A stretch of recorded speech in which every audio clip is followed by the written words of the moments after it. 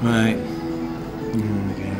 What's your name? My name's Brian, and I do the reception here in the foyer. I've been here for a number of years. Now, this Crossrail project means a demolition of this building and many others around here. Many others on the whole line of the Crossrail.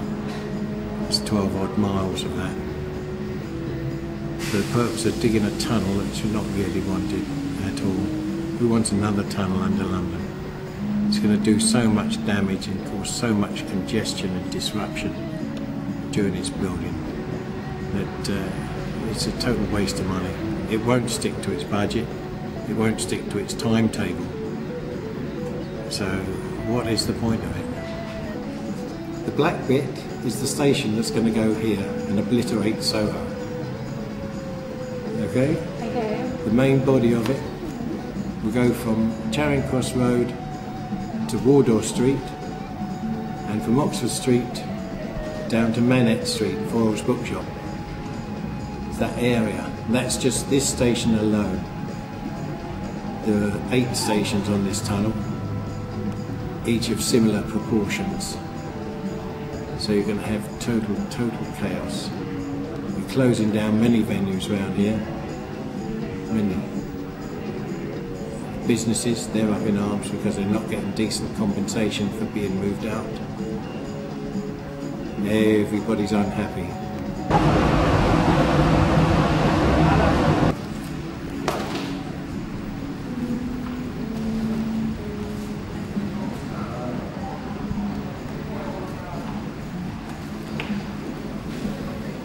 These are the stations. That one, as you know, is, is the Tottenham Court Road station. That's the Paddington station. Right? Yeah. That's the Bond Street station.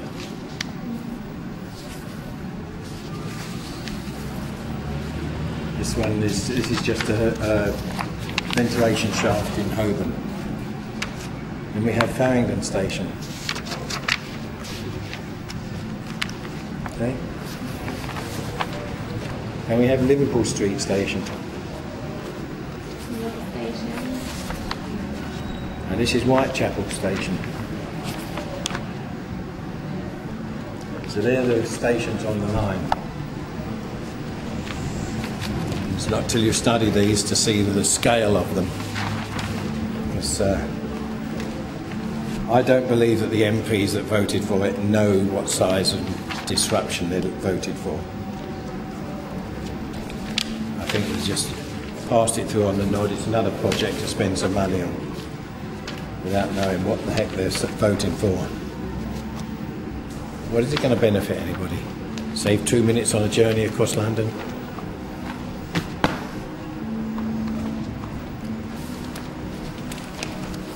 I then retire.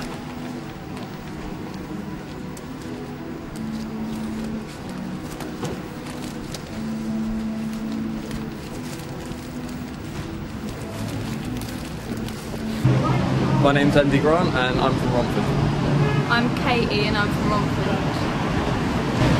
I've been to a few places around London, seen some great bands, had some really awesome times, met some brilliant people.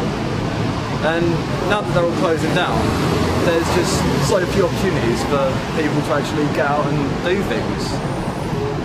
Uh, Westminster Council proposed a new 250 seat venues to be built to replace Astoria. How do you feel about this? Is it just going to be a theatre? Or... Yeah, 250 seat. I don't know. If it doubled up as maybe a gig venue or somewhere that could be changed around to fit different purposes, and I wouldn't be too bad with it. But if it is just a theatre, then I don't really see the point because that's what the West End's for. You know, we've, got, we've got enough theatres in London to keep us going for a hundred years, and all the gig venues that are closing down just keep the Astoria open or I'll piss in your nostrils.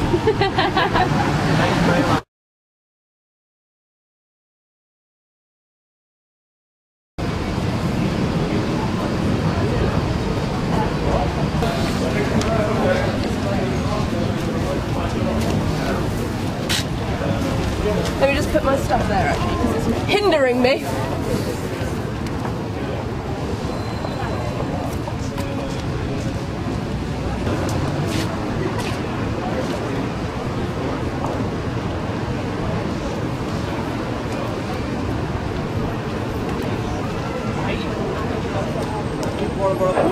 So, Okay. Do you want to introduce yourself first? my name's Rachel. Ashan.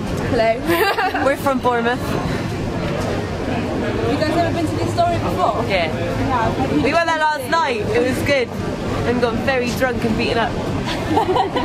good time. Have you heard about the, um, the demolition? I have now because you told me about five minutes ago. Do you know anything else about it? It's to do um, train lines, isn't it? Yeah. And that's a bit rubbish. There's There's trains trains everywhere. A massive like underground thing with the tubes and that. I mean, how do, how do you feel about it? Um, well, I quite like going to gigs there, so it's a bit rubbish. and it's quite an old building. I Yeah, found yeah, out yeah. on Wikipedia. I looked on Wikipedia about it. So that's Uh, no, yeah, we prefer if they didn't. We've just found out that as well as the um, the Astoria, they're also knocking down Metro around the corner, Borderline and Sin as well. What, just to make these train? Yeah. Make, train, make up trains? Yeah. Oh, well, that's, that's fucking stupid. A lot of people don't realise the size of it, but it's actually going to run pretty much from here all the way down this whole street for the whole station. Well, that, no, that is rubbish because they put on some really good gigs here and stuff. So Well, they proposed uh, a to put a new Astoria with um, 250 seats compared to this, which is like two, three thousand. oh, it'll be like gigging in Bournemouth. Yeah. Why would you bother? You would just go to a really big one, or you'd go to a local. no, exactly. That's just stupid. But if there's loads of space to stand up, I suppose it's not so bad. But just, Okay, I'm Zoe. Yeah, that's about it really. I have a few times. My first ever gig was here, so it's quite monumental in my life. And I've been a few times, yeah. Um, my first gig was Sponge. Um, I've seen, oh dear. And it, is it including Mean Fiddler as well? Um, okay. I've seen The Filaments. I've seen Boom 6. Sorry, I'm not looking at the camera because I'm thinking. Um, Reel Big Fish. Less Than Jake. Rancid on Friday. Um, etc. etc. Loads. I'm sorry. Can't remember them all. How did you First hear about the story of Blink um, word of mouth. It's become a bit of a thing in the music scene. Everyone's like, "Oh, this is terrible. We've got to stop it." So, yeah. I personally feel I think the Crossrail thing is a good idea. But on the story is an absolutely terrible idea because there are like there aren't very many gig venues in London which are good and especially this size and there's a lot of bands that aren't big enough for Brixton, aren't small enough for like Underworld and stuff like that and this is the perfect size for those kind of bands and I think it'd be a real shame. And also it's central which is really good because everyone can get there and yeah. Westminster Council proposed that a new 250 seater theatre be built as a replacement. How do you feel about this? Ceta.